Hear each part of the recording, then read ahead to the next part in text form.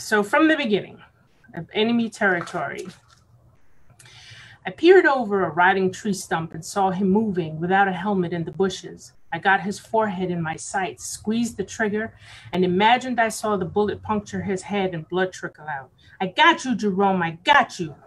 Oh, you did not. I got you. You're dead. I must have sounded very definite because he compromised. You only wounded me. Tommy, Tommy, come here. Her voice came from high above me. I scrambled to my knees. What, Ma?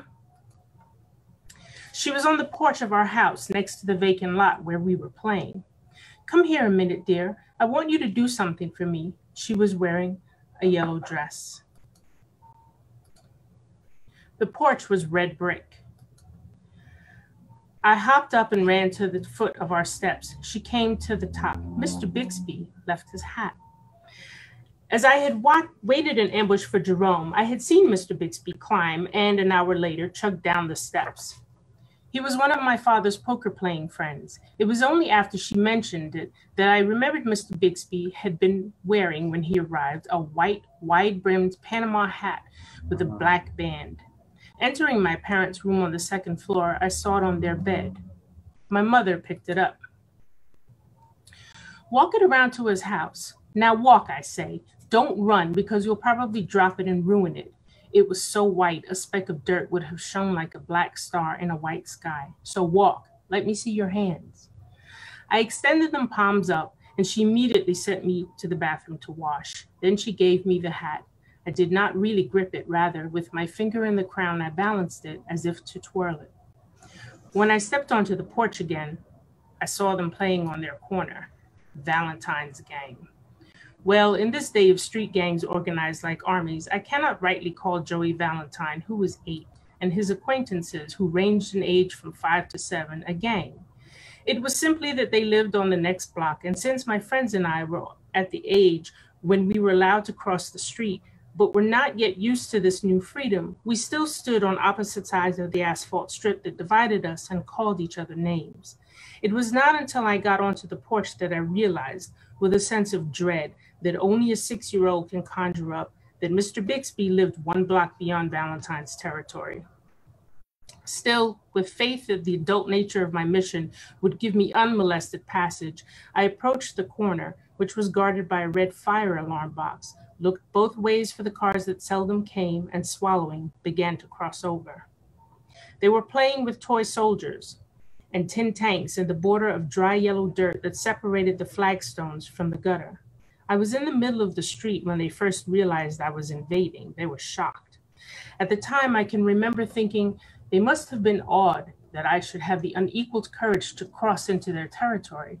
But looking back, I realized it probably had little to do with me.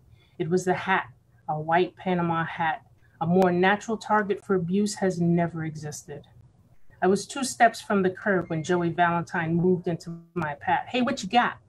Since he was obviously asking the question to show off, I bit my lip and did not answer. I saw myself as one of my radio heroes resisting Japanese interrogation. I was aloof. However, the white Panama hat was not at all aloof. Before I knew it, Joey Valentine reached out a mud caked hand and knocked the hat off my finger to a resounding chorus of cheers and laughter. I scooped up the hat before any of them, retreated at a run across the street, and stopped beside the red alarm box. Wanting to save some small amount of my dignity, I screamed at them, I'll get you guys, I'll get you. I'm not really an American, I'm an African, and Africans are friends of the Japs, and I'll get them to bomb your house. But even as I ranted at them, I could see I was doing so in vain. Across the way, Valentine's gang lounged with the calm of movie Marines listening to Japanese propaganda on the radio. I turned toward my house, inspecting the hat for smudges.